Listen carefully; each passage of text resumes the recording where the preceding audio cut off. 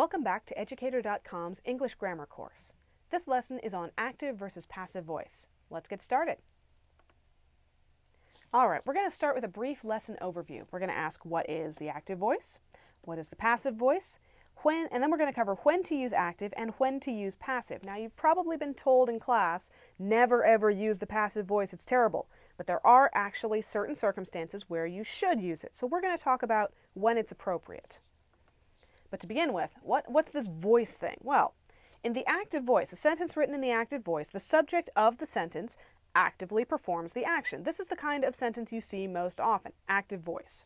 So, William Shakespeare wrote Hamlet, my favorite play. The subject is William Shakespeare, and the predicate is wrote Hamlet, my favorite play. Shakespeare is the person who wrote Hamlet, so it's in the active voice. Similarly, your dog, subject, chased my cat into Fred's yard today. Your dog performed the action of chasing my cat. All right, well, if that's the active voice, what's the passive voice? Well, in the passive voice, the subject of the sentence receives the action, and the agent of the action is removed or displaced. So, Hamlet, my favorite play, was written by William Shakespeare. Well, now the subject is Hamlet, and the predicate is was written by William Shakespeare. So the subject actually receives the action. This is not as strong a construction as active voice. Similarly, my cat was chased into Fred's yard by your dog today. Well, if you're having an argument with somebody, you're probably going to put your dog right at the beginning. It's weaker to say, my cat was chased into Fred's yard by your dog. It's wordy, it's confusing, you get lost about who did what.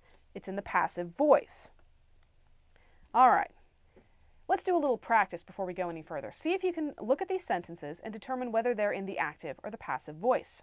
The judges have selected a winner. The winner will be announced tomorrow. A prize of $10,000 will be given to the winner. Take a good look. Pause the video if you need to. All right, the judges have selected a winner. That is active. The action is have selected, and the subject judges is who's done the selection.